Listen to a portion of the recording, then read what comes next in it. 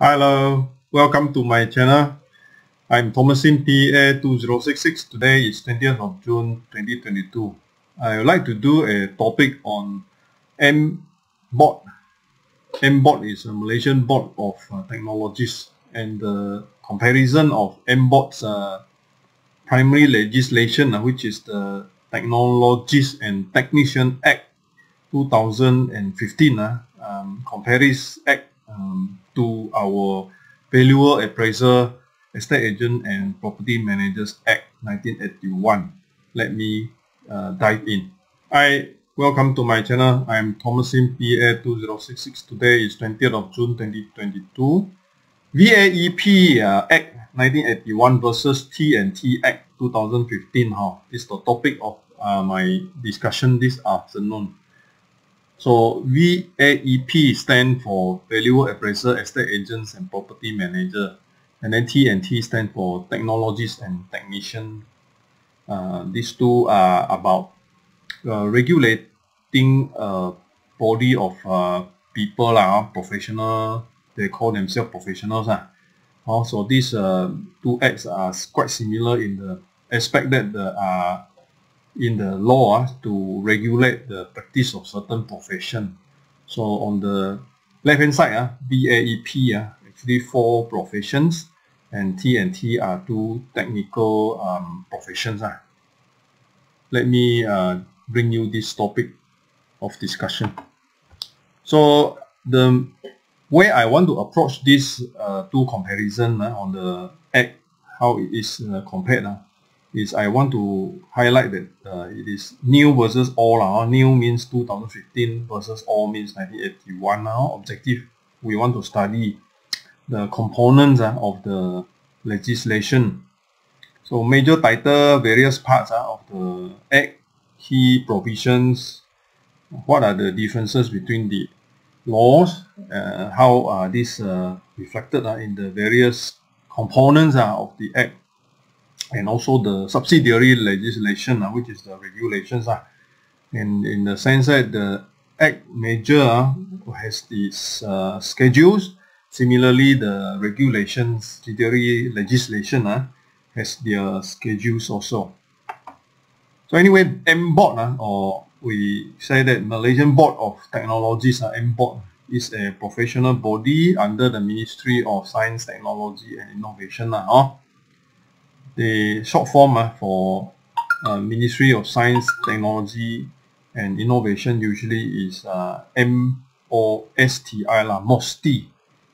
And the act uh, the professional recognition to technologists and technicians uh, in technology and technical fields recognized by the board. Uh. So what are these uh, different uh, from general uh, types of professional bodies uh, like accountants, uh, and like Malaysian Medical Law, which is the MMA lah, the Malaysian Medical Act, the Accountant Act.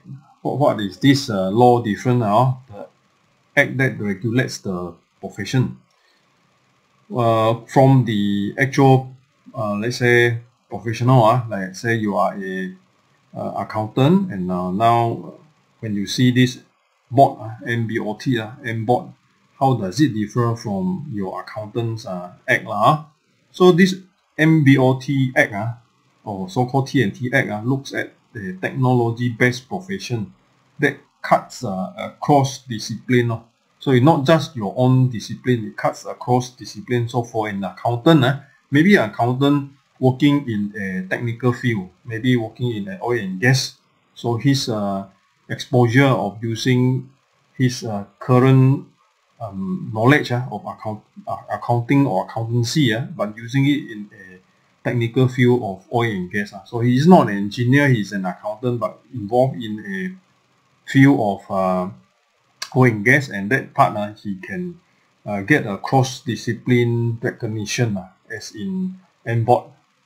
And this is based uh, from the conceptual design uh, to the realized technology and cover from technician with the MQF level 3 to advanced level diploma uh, up to technologists which uh, has bachelor's degree and above. So as a whole, uh, this professional um, MBOT, uh, MBOT uh, qualified technologists and technicians are, are looking at integrated role uh, from concept to reality. Lah. So the example just now, an accountant in oil and gas, the involvement in the accounting software using software into oil and gas businesses, maybe that in that sense uh, it becomes a um, technological change uh, in the profession which uh, accountants uh, get involved with uh, software uh, IT involved in the oil and gas industry. Lah.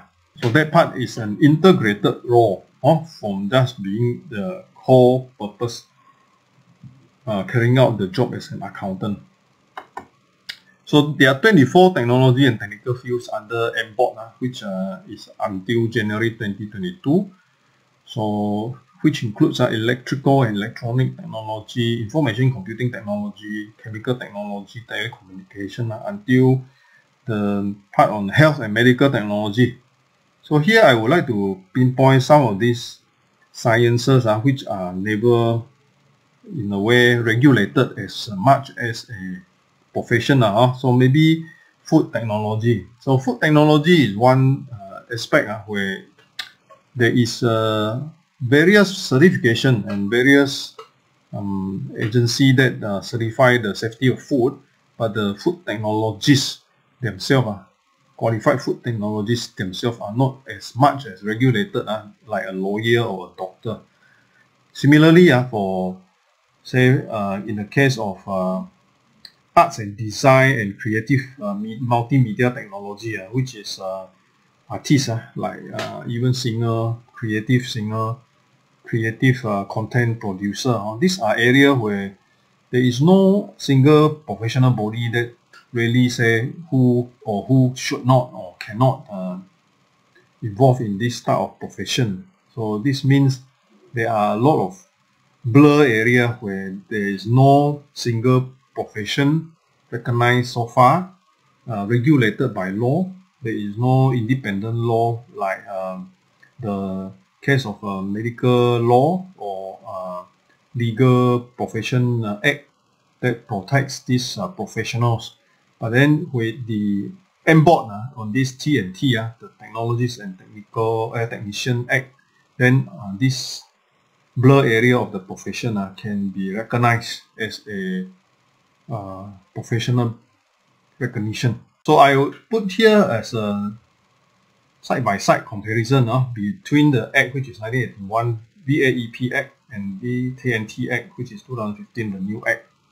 So this uh, been enforced in 1981 for the valuer and appraiser and then included in the valuer appraiser uh, estate agents in 1985 and after that included again the property managers in 19 uh, sorry in 2017 year end which is 2018 so this regulation uh, the act of parliament uh, uh, regulates the public uh, from the various dealings in the real estate and property management industry lah. so the purpose of uh, law is to protect the interests of the public, uh, not to be cheated by anyone simply calling themselves uh, as uh, estate agent or property manager. Also, it's a little bit like an example where people got conned uh, because uh, there are all kinds of illegal broker out there trying to sell expensive uh, stuff uh, and uh, cheat the public. So the law regulates this profession so that the public are protected. However, on the technologies and technician side, uh, there is still no such uh, regulated framework. Uh, so the reason probably is because it's still very new. It gazetted in 2015, 24 areas as of uh, now, uh, June 2022.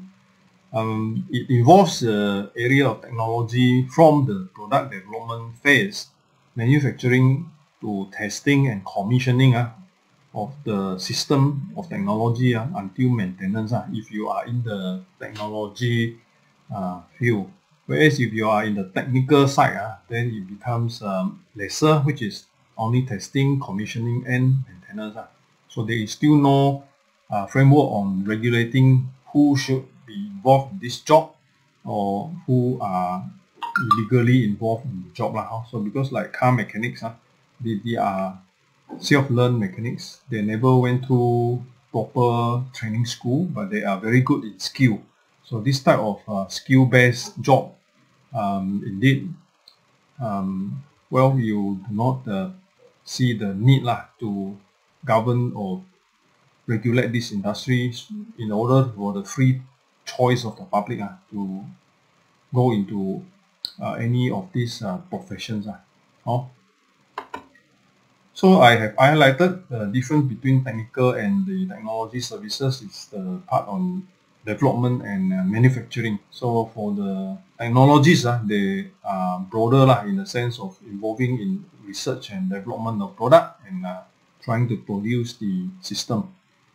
And uh, of course, after that, doing the testing, market testing, commissioning the system, and also to maintain it. So advantages, uh, now MBOT uh, is new. So recognition and acceptance, uh, if you are a professional, qualified um, professional technologist, then you can carry the title of TS or the PT, uh, P-Tech uh, name uh, at the back similar to technician, TC or the C-Tech at the end of the name and get recognition uh, from the peers uh, in the industry. Uh, of course, the talent mobility, more professionals are given the um, mobility of um, joining up with other associations and uh, go on a more um, higher level lah, together with the professional bodies. It's also about lifelong learning meaning to say um, having to fulfill some requirement by the board and board uh, to have CPD hours and to always uh, keep updated uh, on the current trend in the profession that a person specializes in.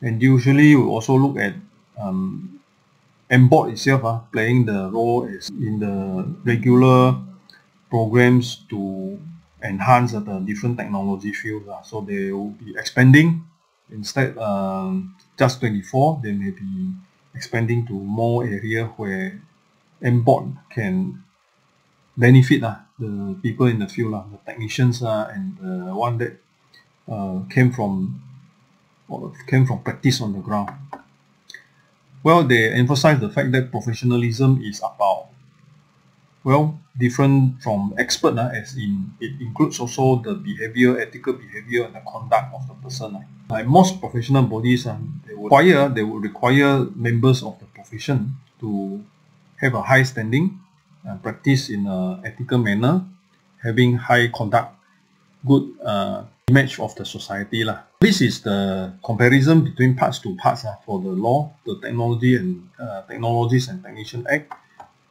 there is a registration and recognition of that registration of a professional technologies and certified technologies uh, and in the providing of the technology services and technical services which I mentioned earlier lah, so techni technical services and technology services includes uh, um, the development of uh, product, um, the manufacturing, the testing, the commissioning, and also the maintenance of the system. Uh.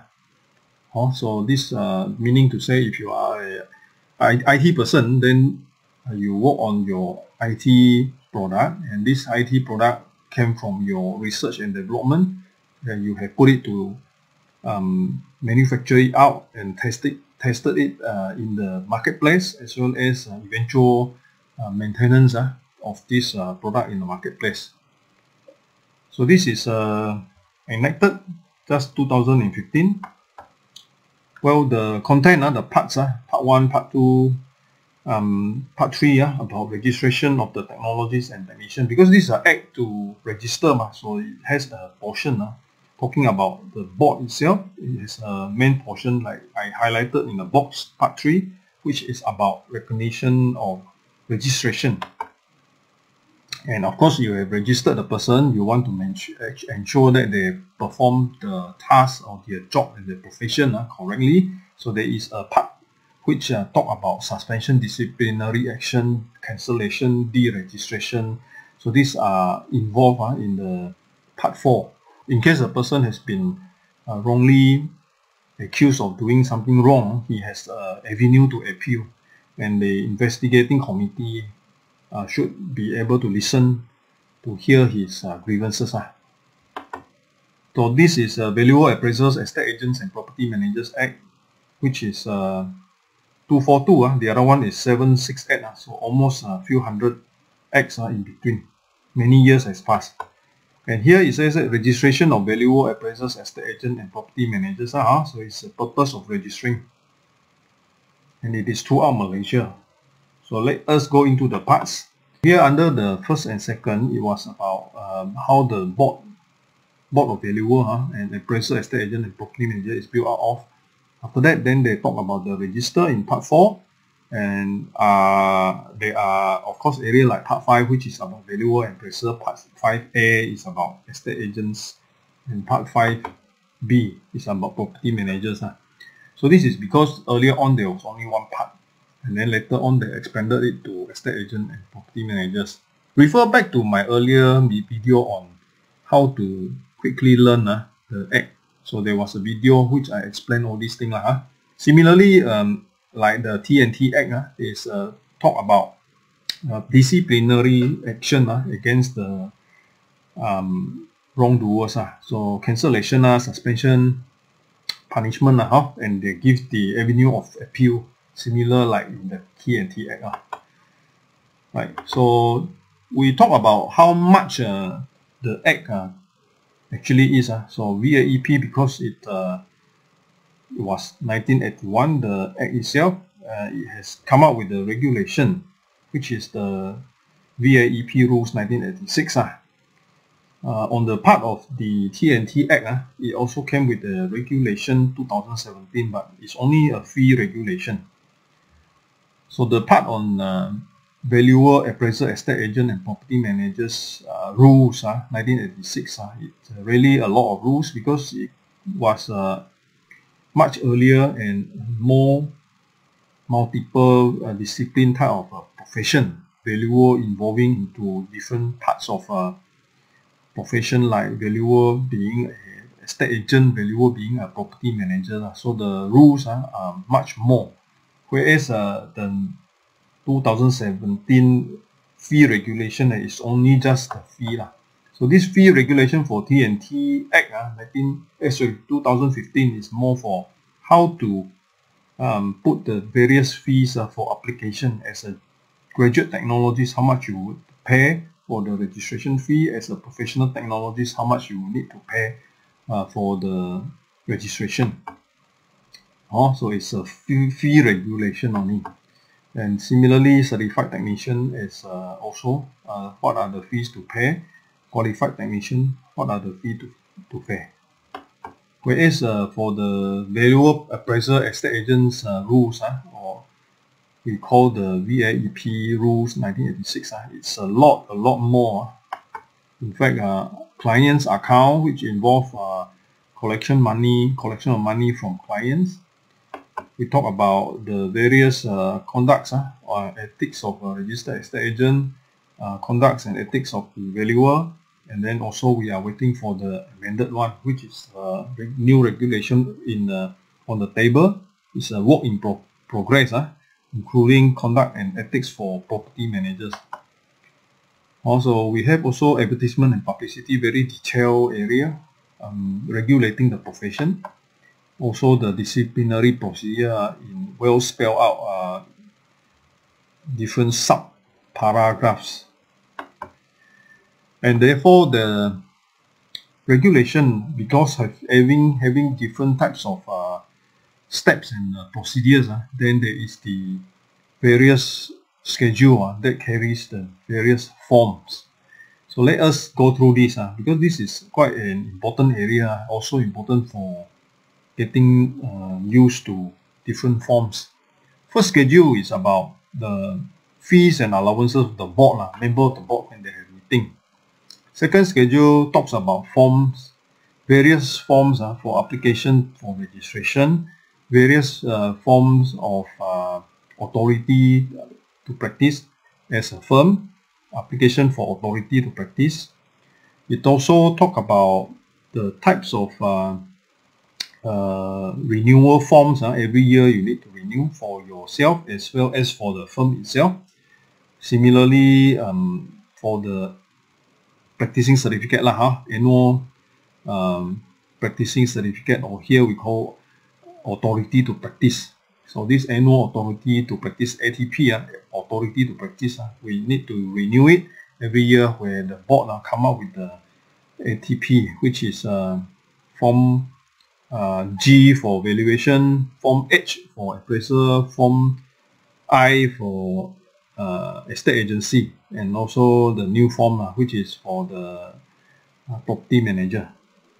Right, uh, so this is a second schedule, quite a lot uh, in the second schedule. Uh, then you go to third schedule, which talks about fees uh, for processing to apply for uh, this um, registration. Uh. So if you apply to become a valuer, how much do you need to pay? You apply to become a uh, estate agent, how much to pay? If you are setting up an estate agency firm, how much to pay? All these are in uh, schedule, third schedule. Huh? So fees to pay. Fourth schedule is uh, regarding uh, area of register. Also, part part 4 is actually about register like, in the actual act. So fourth schedule uh, is about also the register. So the register for valuer, register for probationary valuer, probationary estate agent, register for the uh, various uh, firms, uh, uh, registration of the firms. So that is under fourth schedule. Fifth schedule can remember very well because we went through the fifth schedule for the forms to use uh, for examination. Uh. So fifth schedule is about examination. Last time when there was no BIS, uh, we, we were not using the computerized BIS system online. We have to write to the board for registration as a student as well as sitting for the exam uh, using the forms inside uh, schedule, the fifth schedule. Uh. Sixth schedule um, is about qualification, recognize which uh, can get you registered as a probationary valuer, probationary estate agent. Uh. So it's a whole lot. Now uh, you can see it in the board website. Uh, all that uh, accreditation and registration um, of uh, institution uh, that uh, goes through uh, this accreditation to be able to deliver um, those uh, educational related things. Uh. Also, that is six, six schedule. Seven schedule is very easy uh, to remember. Seven schedule is for fee, you know, how much uh, valuer should charge, how much uh, estate agent should charge, how much uh, it is for property manager to charge. Uh, seven schedule, scale of fee. Eight schedule is about client's account and also auditor's report. Uh. So there is a standard auditor's report that is required uh, inside the uh, this uh, eight schedule. Eight schedule really is about more of an auditor report than the client's account. Huh? Client schedule is about appraisers restriction, which are no, no more now very few appraisers around. 10 schedule is about forms uh, for all these uh, notice of complaint related to complaining, uh, notice of dismissal of charge, order of removal of name from the register is about disciplinary action taken uh, on members Oh, so that is on the 10 schedule. 11 schedule is related to notice of appeal. Lah. So if you need to appeal when you have uh, this uh, disciplinary action against you, you need to appeal. Then you go to 11 schedule to look at the form. 12 schedule is about fee and allowances uh, for the appeal board. So when it comes to appeal, then the board will have to sit to to study the matter and uh, this board are consisting of members uh, and the deposit for appeal is 3000 ringgit per appeal so you want to appeal for another hearing uh, you have to deposit 3000 ringgit on another part of the act uh, itself uh, so there is a interesting area where in the act itself uh, for T&T uh, there is a stamp usage of official stamp so this is under Section 20 uh, of the Technologies and Technician Act 2015, uh, which authorizes the professional technologists and certified technician uh, the right to use the official stamp. This is different from uh, Valuer Appraiser Estate Agent and Property Managers Act, uh, there is no such provision in the Act that uh, says you have a stamp. So this is an interesting area where MBOT, uh, the Act itself, uh, provide a stamp. So does this look like? Uh? Official stamp of TS and TC.